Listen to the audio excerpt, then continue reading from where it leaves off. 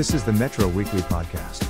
We continue our coverage of the 2024 presidential election today, with a couple of posts. First, LGBTQ groups rally behind Kamala Harris. And then, losing its mind over Kamala Harris, MAGA stoops to ugly name calling. We begin with LGBTQ organizations rallied behind Kamala Harris following President Biden's withdrawal from the 2024 presidential race. By John Riley on July 22, 2024.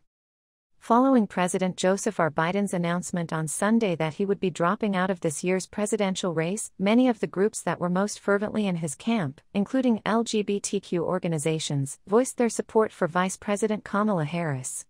Biden abandoned his reelection bid after relentless pressure from party insiders and weeks of panicking from liberal activists following his disastrous performance against Donald Trump in a televised debate on June 27.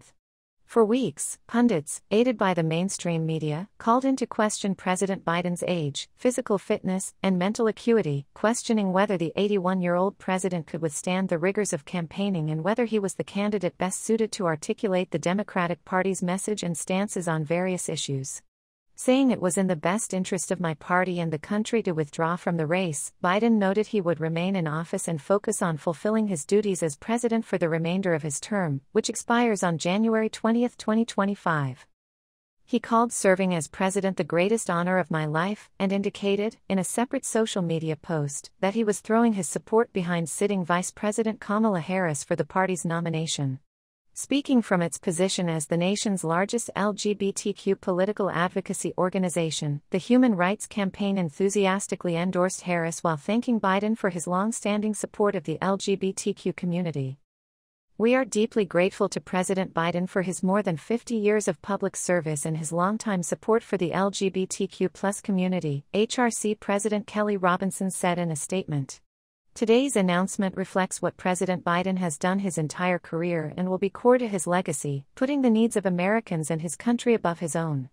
We owe the Biden Harris team a debt of gratitude for leading the country out of a state of chaos and constant crisis under former President Trump calling Harris a trailblazer and a champion for LGBTQ equality dating back to her time as District Attorney of San Francisco. Robinson also noted that the Biden Harris administration has adopted a number of pro LGBTQ policy positions, including support for the Respect for Marriage Act, which Biden signed into law in 2022, rules protecting LGBTQ youth from harassment in schools, appointing more than 200 LGBTQ people to various government positions, and nominating several LGBTQ judges to to the federal bench. Convicted felon Donald Trump has already shown that he aims to destroy democracy and divide the country in his quest for power, Robinson said. Vice President Kamala Harris is a true champion of unity and accountability, and will fight for a country where no one is above the law and justice for all means something. The Human Rights Campaign could not be prouder to endorse Vice President Kamala Harris and commit to channeling our resources and supporters to work to elect the first Black and South Asian woman President of the United States. Kierra Johnson, executive director of the National LGBTQ Task Force Action Fund, echoed similar sentiments, thanking Biden for being an ally to LGBTQ communities and for the pro LGBTQ policies advanced by his administration. At this critical moment for our democracy and our freedoms, we have both hope and excitement for Vice President Kamala Harris and what she can do for our country, Johnson said in a statement. We fully expect a continued commitment to always putting our communities first. We now recommit to moving forward in the democratic process, the upcoming convention, and the November elections. WAPAC, the National LGBTQ Political Action Committee advocating for the election of LGBTQ women and non binary candidates to political office, thanked Biden for his efforts to advance LGBTQ equality while in office and praised his decision to withdraw from the race as selfless, foregoing his own political ambitions for the betterment of his party and the country as a whole. WAPAC is grateful for President Biden's leadership and the positive impact he has had on the LGBTQ community, Janelle Perez, the interim executive director of WAPAC, said in a statement.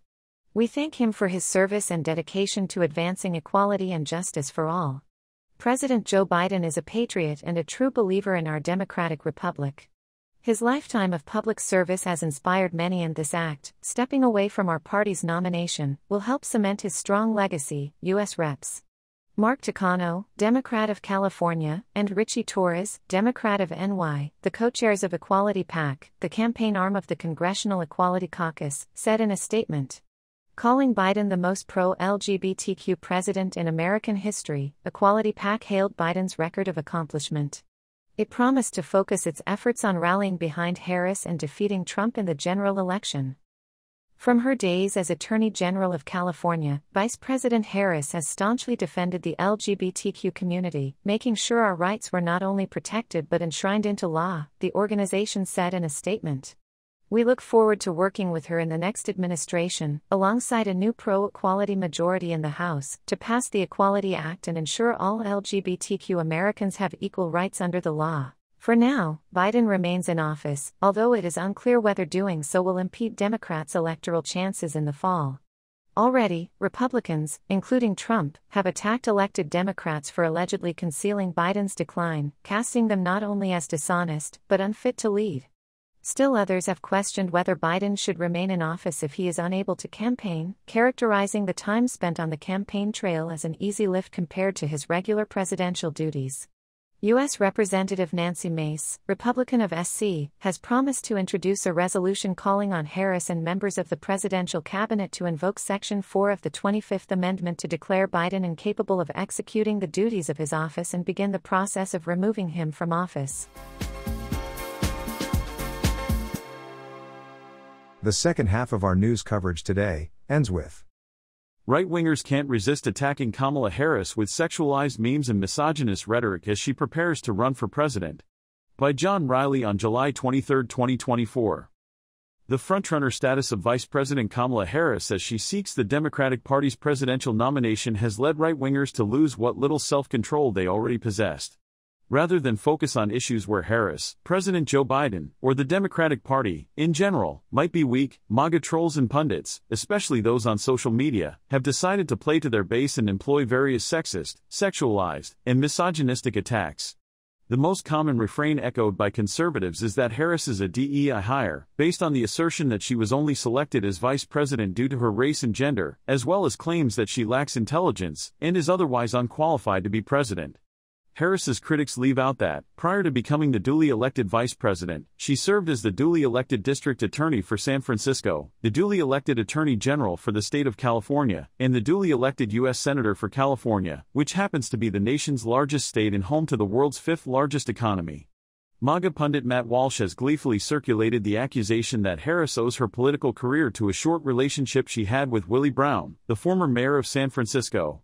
Both Harris and Brown have acknowledged the relationship but downplayed it as largely irrelevant, especially with regard to Harris's professional career, which started in 1990 when she was working for the Alameda County District Attorney's Office, not in Brown's home base of San Francisco, according to a fact check by Reuters. Kamala Harris got her start in politics by sleeping with Willie Brown, Walsh wrote on X. She became vice president because Biden needed a non white female on the ticket. She's made a career out of begging for handouts from powerful men. Kamala Harris is a little whore and that Tulsi Gabbard exposed her in 2020. Truth Hurts, Gomez captioned the video post, referencing Gabbard, a former U.S. Congresswoman from Hawaii who spends much of her time appearing on conservative media to attack the Democratic Party. Others started circulating a video clip from 2021 featuring Republican presidential candidate J.D. Vance, in which the then candidate for the U.S. Senate told Fox News host Tucker Carlson that Harris and other prominent Democrats should be disqualified from running the country because they do not have any biological children, a statement in keeping with Vance's anti abortion, pro natalist views. We're effectively run in this country by a bunch of childless cat ladies who are miserable at their own lives and the choices that they made, and so they want to make the rest of the country miserable, too, Vance said. It's just a basic fact, he continued. You have Kamala Harris, Pete Buttigieg, AK, U.S. Representative Alexandria Ocasio Cortez, Democrat of NY. The entire future of the Democrats is controlled by people without children. How does that make any sense when we've turned our country over to people who don't have a direct stake in it? Vance made nearly identical comments at a conservative conference organized by the Intercollegiate Studies Institute in Alexandria, Virginia, that same year, disparaging Harris and other Democrats as the childless left, regardless of the fact that Harris has two stepchildren. Transportation Secretary Pete Buttigieg, another target of that same rant, has two adopted children who Vance apparently views as not legitimate, in keeping with his opposition to LGBTQ rights. The barrage of hateful social media posts about Harris shows no signs of abating, with some users posting memes sexualizing Harris. One post compares Harris to the Hawk girl, a woman who has become part of internet lore after a video of her making glib comments about engaging in fellatio went viral. Right-wing pundit Konstantin Kisin referred to Harris's sole qualification as having a vagina of color, while another user, responding to a Harris-supportive post from Colorado Governor Jared Polis, referred to the vice president in Buttigieg, whose name has been floated as a possible running mate, as the blowjob ticket. One political cartoonist made a comic of Harris preparing to fell at the Washington Monument, while another made a post suggesting that Harris would perform sexual acts in exchange for votes. A left wing user compiled a series of memes, including fake campaign logos, shared on multiple accounts sexualizing Harris or implying she is sexually loose. Defenders of those memes have jumped on board, claiming that the attacks aren't sexist, they're just specifically targeting Harris. Explain to me how criticizing Harris for how she got her job somehow has anything to do with other women? Most women don't sleep their way to the top. You lumping her in with other women is gross on your part, wrote one user. Left wing commenters have already hit back at the attacks. We aren't racist or sexist, says the party that immediately makes racist jokes about black presidential nominees and sexist jokes about female presidential nominees, wrote one user. Watch them lose this election and then dedicate a plank in their party platform for repealing the 19th Amendment, another user said of Republicans. The fit they'll throw if they lose to Kamala will be legendary, wrote a third. Thanks for listening. Read more stories like this by visiting metroweekly.com. And if you enjoyed these stories, please hit like, comment, follow, and subscribe. We appreciate your effort to help us grow.